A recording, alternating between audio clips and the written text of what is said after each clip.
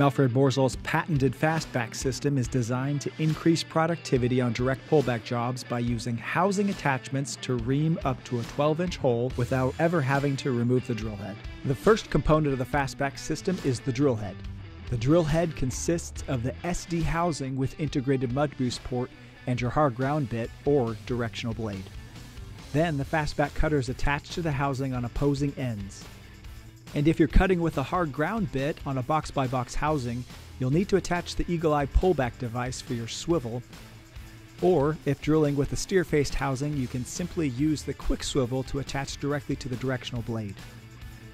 Now that you know the components of the fastback system, let's start assembling it. First, you'll want to remove the plug from your SD housing's integrated mud boost near the tail.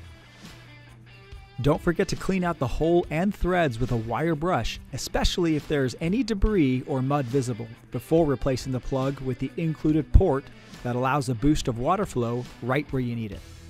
Now let's attach cutter blocks. Take a second to line up the dimple and dot on the housing and accompanying cutter block.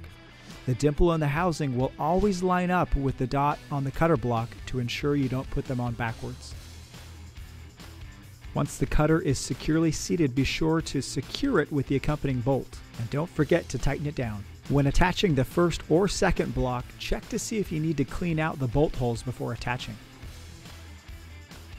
Use the same dimple dot detection feature to line up the second front cutter block when seating the housing and then securing the bolt.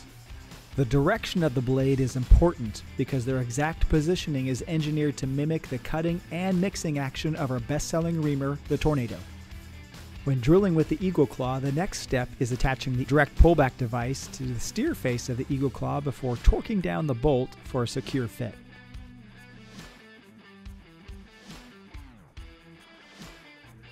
In the last step, the swivel that is engineered to keep your product from rotating along with the drill head will attach directly onto the Eagle Eye. Or, if you're drilling with a directional blade setup, our quick swivel has a small tab that lines up to a matching indent on our Borzall blades. This is an added measure of security to keep the swivel on center.